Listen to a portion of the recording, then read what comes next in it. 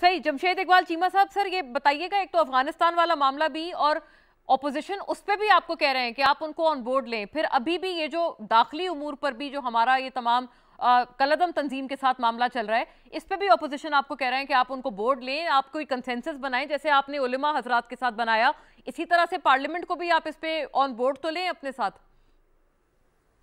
मैं समझती होना चाहिए बट ये आप कह लें कि जब भी इनको ऑन बोर्ड जैसे तरह बात कर रहे हैं कि एक मसला है हल तलब है हल तलब है कि ये मामला असम्बली में पेश किया जाए अब वहाँ तो तावन नहीं कर रहे।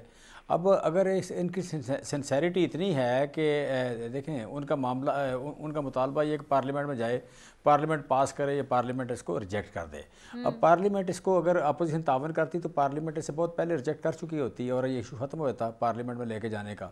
सो अगर ये सनसियर इतने ज़्यादा हैं इस काज के लिए इस मुल्क में अमन अमान के लिए लोगों की को मसाहब से निकालने के लिए लोगों की वेलबींग के लिए। अगर सनसियर हों तो इनसे हम बात भी करें। अगर एक सामने सामने एक ज़िम्मेदारी है अपोजिशन और गवर्नमेंट की मिल के एक ज़िम्मेदारी है कि आपने इस करारदाद को लेके जाना है असम्बली में।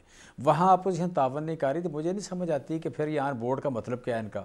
सो बा, बात जो हम करते हैं ये ये इस बात में बड़ा चिड़ते हैं और बड़ा बाज़ात इसको लेकिन जमशेद साहब अभी आपने तो, सुना मैंने जनरल कादर बलोच से पूछा तो अभी हमारे साथ हैं जनरल साहब मैं उनसे दोबारा पूछती हूँ, लेकिन वो तो ये बरमला कह रहे हैं कि ऐसी कोई बात नहीं है कि नून लीग हो या पीपल्स पार्टी हो, उन्होंने कभी नहीं कहा कि आप कोई करारदाद वो रोक रहे हो या आपका रास्ता रोक रहे हो इस हवाले से।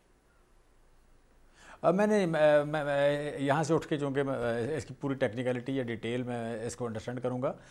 लेकिन फैक्चुअल पोजीशन यही है। मोटी मोटी बात जो है फैक्चुअल पोजीशन ये है कि ये कभी भी जिस जहाँ से इसने इनिशिएट होना है उसमें हाज़िर नहीं होते। उसमें अपोजिशन के जो मेम्बरान हैं जो इसके कमेटी के मेम्बरान हैं वो हाज़िर नहीं हो रहे। जब हाज़िर नहीं हो रहे तो उसको लेके आगे चलना जो है मुमकिन नहीं है। सो मैं इसकी डिटेल आपको किसी किसी भी नेक्स्ट प्रोग्राम में वो डिटेल बता दूँगा। इस मैं समझता सबसे बड़ी रुकावट ये बने हुए उसमें। और ये तमाशा देखना चाहते हैं, इस मुल्क का तमाशा देखना चाहते हैं, इस मुल्क के मसाइब को बढ़ाना चाहते हैं।